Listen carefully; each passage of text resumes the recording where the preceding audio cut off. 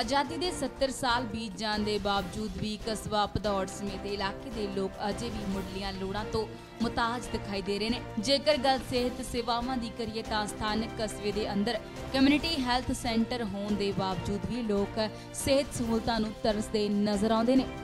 30 ਬਿਸਤਰਿਆਂ ਵਾਲਾ ਹਸਪਤਾਲ ਤਾਂ ਬਣਾ ਦਿੱਤਾ ਗਿਆ, ਪਰ ਕਿਸੇ ਵੀ ਸਰਕਾਰ ਨੇ ਹਸਪਤਾਲ ਵਿੱਚ ਕੋਈ ਸਪੈਸ਼ਲਿਸਟ ਡਾਕਟਰ ਦੀ ਨਿਯੁਕਤੀ ਕਰਨ ਵਿੱਚ ਕੋਈ ਦਿਲਚਸਪੀ ਨਹੀਂ ਦਿਖਾਈ।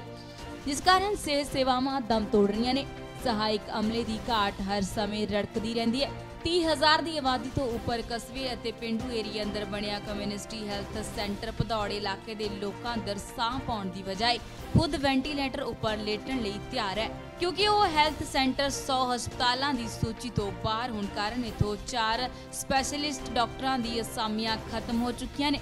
ਪਿੰਡ ਵਾਸੀਆਂ ਵੱਲੋਂ ਹਸਪਤਾਲ ਅੰਦਰ ਡਾਕਟਰਾਂ ਦੀ ਕਮੀ ਨੂੰ ਦੂਰ ਕਰਵਾਉਣ ਲਈ ਪੰਜਾਬ ਸਰਕਾਰ ਤੇ ਪ੍ਰਸ਼ਾਸਨ ਖਿਲਾਫ ਰੋਸ ਪ੍ਰਦਰਸ਼ਨ ਕੀਤਾ ਗਿਆ।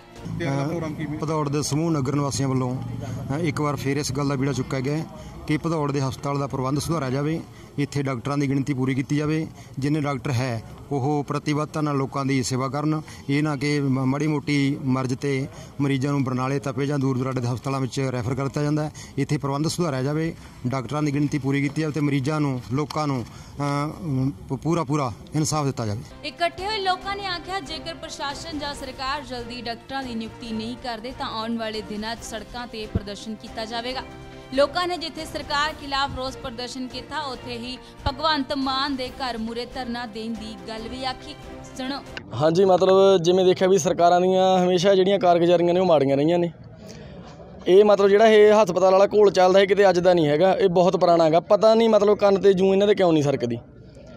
ਹੁਣ ਅਸੀਂ ਦੋ ਸਰਕਾਰਾਂ ਦੀ, ਇਦੋਂ ਪਹਿਲਾਂ ਟੂਹੀ ਲਵਾਤੀ ਪ੍ਰੋਪਰ ਤੌਰ ਤੇ, ਜਿਹੜੇ ਕਾਲੀ ਤੇ ਕਾਂਗਰਸ ਸੀਗੇ।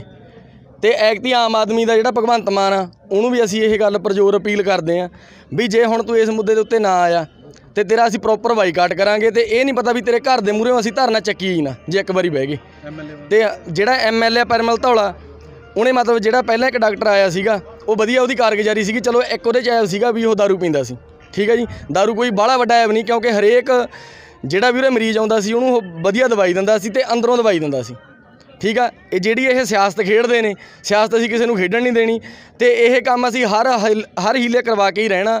ਭਾਵੇਂ ਇਹਦੇ ਲਈ ਸਾਨੂੰ ਜਿਹੜਾ ਮਰਜ਼ੀ ਸੰਘਰਸ਼ ਵਿੱਢਣਾ ਪੈ ਜੇ ਭਗਵੰਤ ਮਾਨ ਨੇ ਪਹਿਲਾਂ ਕੀ ਭਰੋਸਾ ਦਵਾਇਆ ਸੀਗਾ?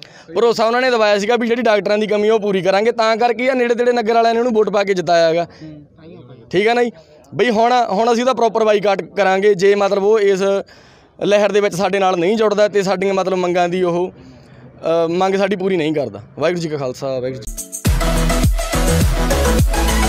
ਚੱਕਦੇ ਟੀਵੀ ਨਾਲ ਜੁੜੇ ਰਹਿਣ ਲਈ ਸਾਡਾ ਚੈਨਲ ਸਬਸਕ੍ਰਾਈਬ ਕਰੋ। ਵੀਡੀਓ ਸਭ ਤੋਂ ਪਹਿਲਾਂ ਦੇਖਣ ਲਈ ਬੈਲ ਆਈਕਨ ਤੇ ਕਲਿੱਕ ਕਰਨਾ ਨਾ ਭੁੱਲਿਓ।